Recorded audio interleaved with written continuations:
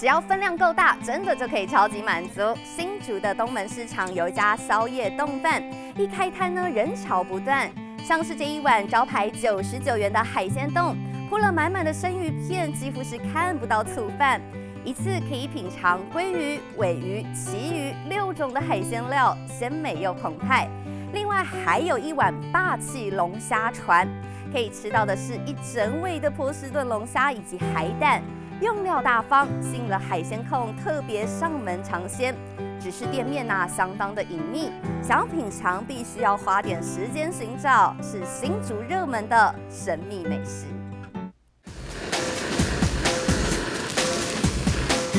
我们是冲了它九十九块就可以吃到海鲜冻饭，觉得 CP 值很高。它有一些虾子啊，有鱼啊，一般都是要一百到两百之间的这种价位。那在这种吃九十九元的，这基本上很少。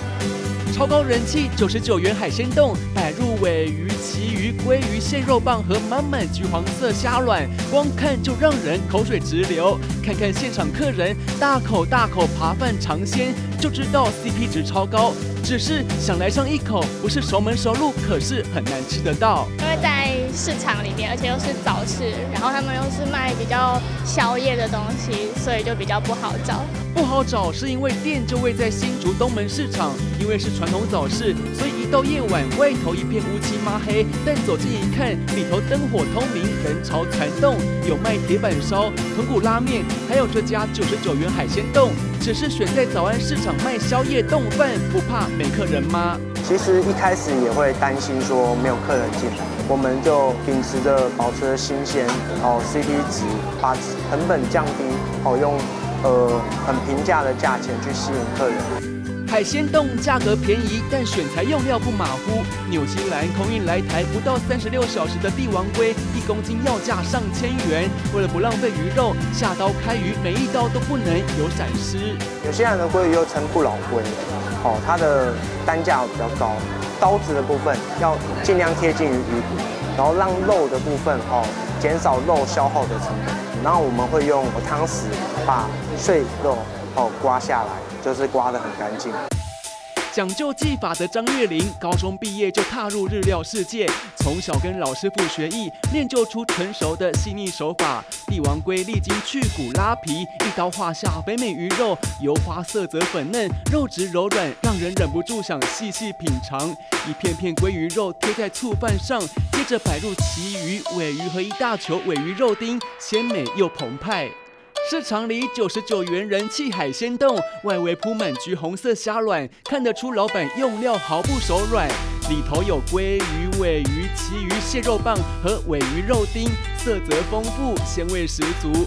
纽西兰帝王龟肉厚柔软，油润香甜；旗鱼肉软中带脆，口感鲜美；尾鱼肉沾附虾卵，软绵鲜甜，搭配虾卵吃来哔哔啵啵，双重滋味让人意犹未尽。里面有鲑鱼、尾鱼、鳍肉，然后里面的鲑鱼、尾鱼都很新鲜，然后虾软也很 Q Q 的，很有味道，让客人蠢蠢欲动。还有鲑鱼控最爱的百元鲑鱼亲子冻，满满鲑鱼卵像是橘色珍珠弹落在冻饭上，几乎快看不见鲑鱼肉。鱼卵吃来在嘴里爆浆，一颗颗喷发浓郁鲜甜滋味，让人难以抗拒。软的口感吃起来就不知不觉的每一颗都很饱满，我觉得很好吃，很适合，很适合在夏天来这边吃，也不会觉得不舒服这样。高 CP 值的市场海鲜冻，价格会如此亲民，是因为张月玲很疼惜客人的荷包。日本料理来讲，师傅工都其实是非常的贵，都要五万、六万块、七万块的，哦，都全部都灌在客人的身上单价上面，所以单价非常贵。为了给饕客享受价格合理的日本料理，所以开店初衷就是尽可能减少花费。市场来讲，持平的店面大概约哦，就像这边是两家店面，平均一间就大概一万多左右的落差。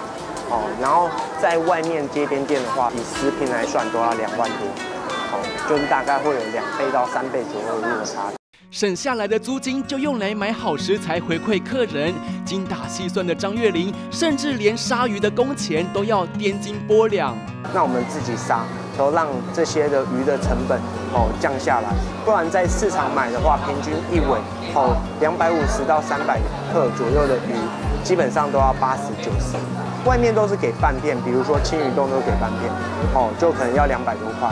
那我们实际上我们就我们是给整只，因为我们是自己杀的。当日现杀现烤的炙烧五仔鱼，在炉内被炙热高温烘烤的哔哔啵啵，散发浓郁香味，让人垂涎。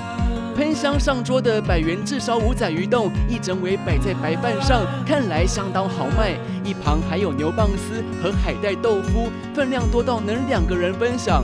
烤鱼上挤点清香柠檬汁，味道鲜香迷人。外皮烤得香酥微焦，肉质细嫩，滋味鲜美。外面就酥酥焦焦的，里面就很嫩鲜嫩，鱼肉完全不会柴。一般外面都是半只，但这一只给一整只，然后相倍就双倍嘛，就相对起来很划算。客人推荐的还有不到千元就能品尝龙虾、海胆和尾鱼肉的龙虾船。为了让餐点看来秀色可餐，张月玲更在鱼肉上化妆，用炙烧增添色香气味。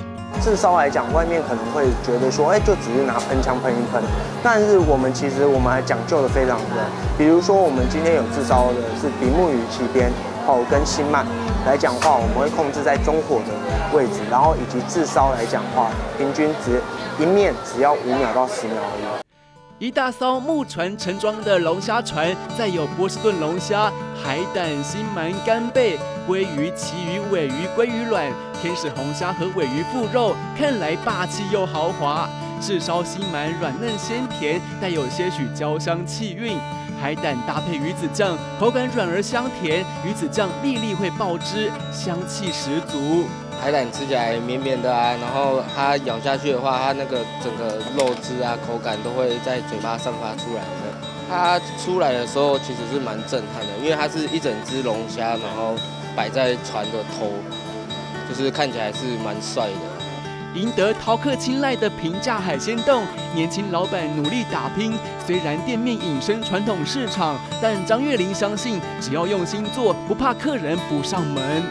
想要给客人吃到的部分，就是觉得说，其实真的很便宜。然后在上餐点的时候，就是很惊讶，就是哇，就爆完的部分哦。基本上我们做的出来的东西，就是新鲜品质都有保证。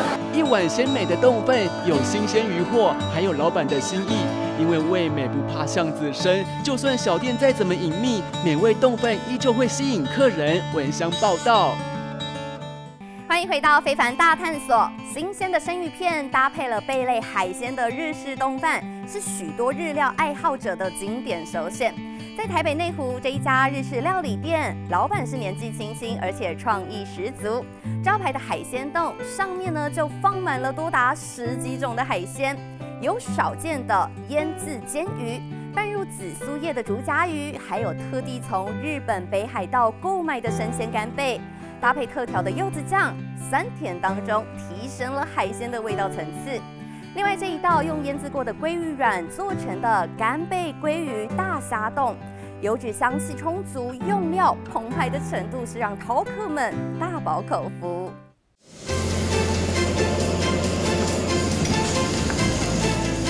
熟练的捏起寿司，站在吧台前的身影是年仅二十八岁的许廷玉，立着平头，眼神锐利，对料理却有十足的耐心。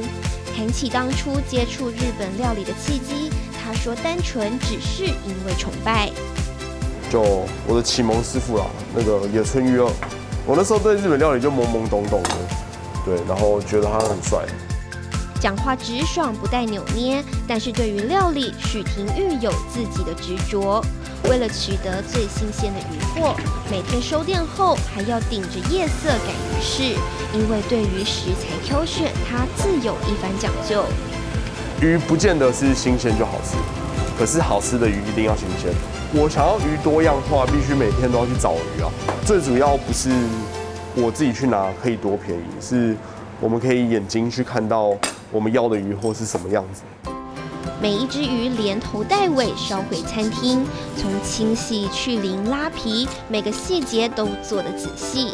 但考量到店址位于上班族聚集的台北内湖，因此寿司店的冻饭就成了许廷玉的镇店之本。因为这里上班族居多，然后他们要快吃快走，没有时间等你捏寿司，我们就从冻饭开始起家，对，然后因为这个门槛也比较低嘛，比较便宜，先让大家认识我们，尝试过我们的东西之后，才会有信心去吃你比较高单价的商品。招牌的海鲜冻，碗中选料就多达十几种海鲜。客人如果好奇当季盛产什么鱼货，来到店里点上一碗冻饭就可以知道。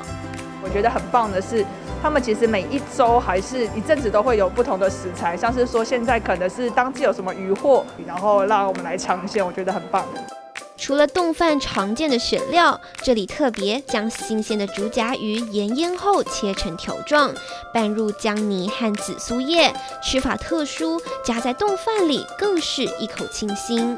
就是这个竹荚鱼，那为什么我蛮喜欢？是因为我自己喜欢紫苏叶，所以它拌的紫紫苏叶上去之后，就把那个鱼的呃味道也有提出来，所以吃起来其实就还蛮还蛮爽口的。